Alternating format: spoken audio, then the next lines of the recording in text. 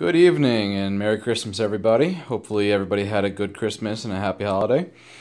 So, uh, tonight I want to go through the, the room that I'm using to grow and propagate some of my cuttings. So, this is my home office. Uh, I'm actually kind of taking it over at this point for fig propagation. And on the left, I've got my cuttings starting. On the right is where I start to grow them out as they get a little bit larger. So tonight's video is going to concentrate on the fig propagation itself. And in particular, I want to show you the new fogger cloner that I've made. So all this is, is on the top here is the uh, is a Tupperware container just to cover and try to keep some humidity in. And here you can see this is the fogger bin. So this is a uh, Tupperware container you can buy at either Home Depot or Lowe's, and it comes with this lid that has all of these squares in them. And all I did is I took a, uh, I think it was about a two inch hole saw, and I cut through to make the insert. I tried using these little baskets, and uh, turns out I don't really need them. So I purchased some foam inserts. You can just find these on eBay or Amazon. And these actually squeeze in here nicely and hold in place. And I've actually left a few of the openings without anything in them to let some of the steam up to keep the tops of the cuttings a, uh, a little bit humid. And then on the inside, all I do is I have a fogger that's going and you can see that fogger is putting enough moisture into the air to keep the base of the cuttings damp. And that just keeps the humidity at about 100% where those cuttings are and keeps them nice and moist for the roots to form. So I just started using this. I had one batch before these guys, and they weren't the best cuttings. They were some of my thin, short, sickly looking cuttings that I just wanted to give it a try with. You know, no loss if they didn't make it. And what I'll say is they formed root initials very quickly.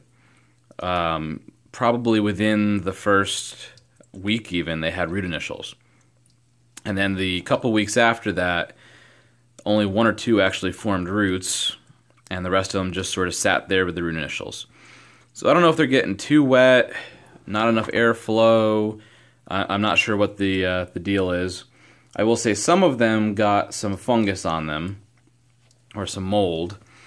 And what I think happened is the temperature of the water got too warm. And I've read online that once the temperature gets above about 80 degrees, you run into problems.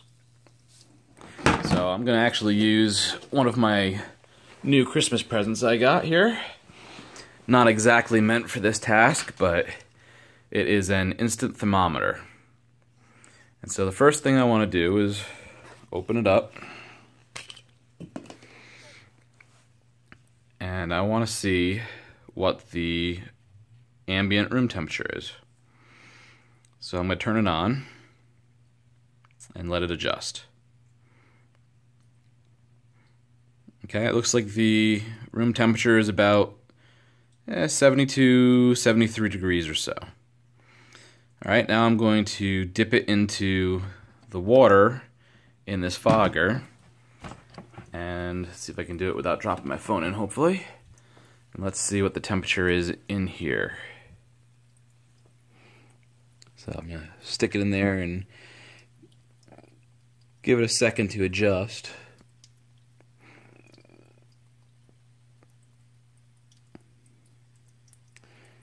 And it looks like the temperature isn't much different, 72.5 degrees. So it's actually a little bit cooler.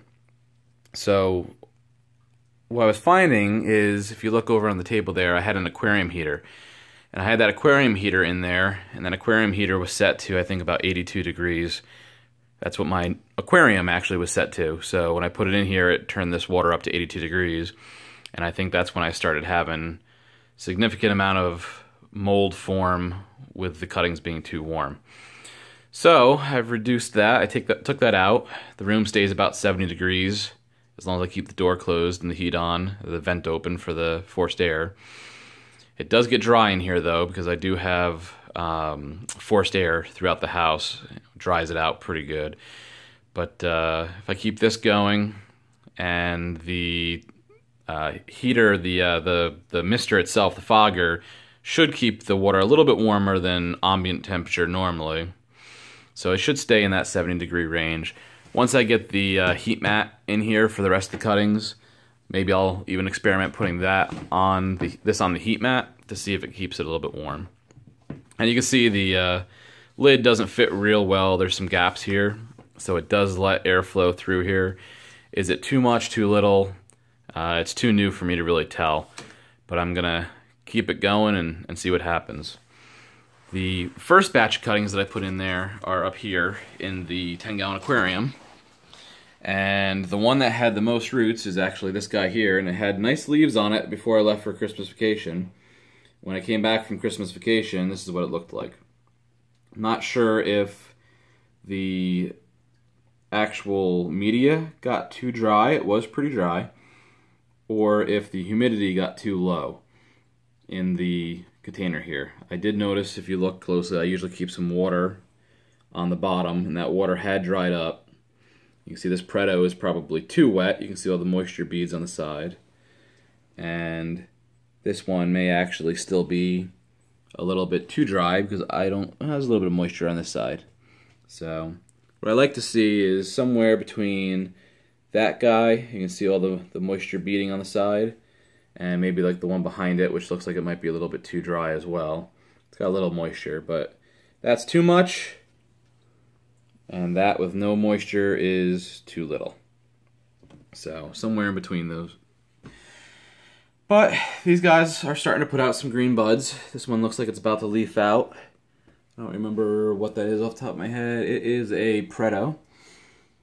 So you can see it's starting to put out some leaves. And the only one that actually had roots forming on it were this was this one. All of the rest of these actually just had root nodules.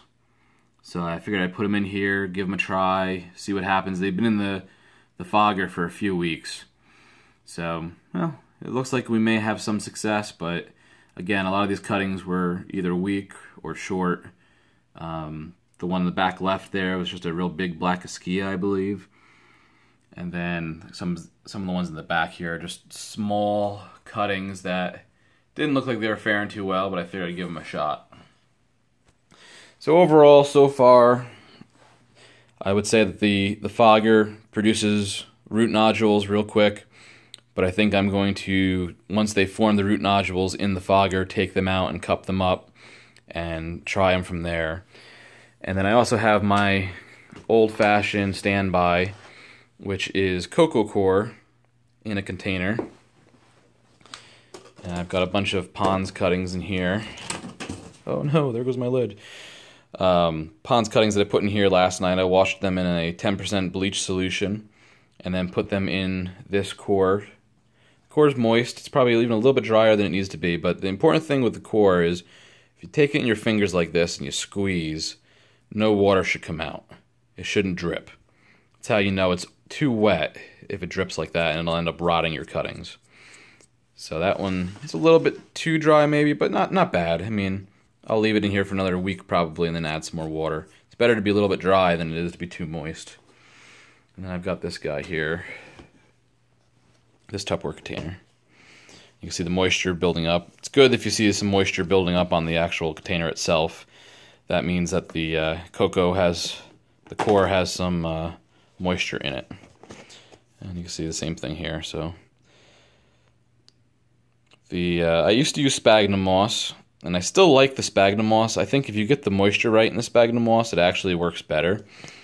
The problem you have is trying to untangle the roots when they form from the sphagnum. It actually uh, tangles in there, and you end up breaking the roots. So that's no good. Coco coir is nice and easy to separate in order to get the cuttings out of. So, all right. The uh, one other thing to add is I forgot to say on the fogger, I do add a little bit of rooting powder to the the water. And the other thing that's important to add is a little bit of hydrogen peroxide. the hydrogen peroxide, and I'm talking maybe uh, three tablespoons worth of hydrogen peroxide. And the hydrogen peroxide, all that does is prevent the algae from growing in the water itself, keeps your water clean, and provides a little bit more oxygen to the, the roots of your cuttings in order to get them growing. So, is it necessary? Probably not if you're going to change your water every few days. Me, I don't plan on changing the water very much. It's just um, in an inconvenient place. So, because of that, the hydrogen peroxide keeps the uh, the algae at bay. Do the same thing for my fountain outside. When my fountain starts to get a little bit of algae, I uh, put some hydrogen peroxide in it, and it clears it up pretty much overnight. So that's about it. It's an update on the cuttings. We'll uh, see how these progress over the next month or so. All right, PA Figs, have a good night.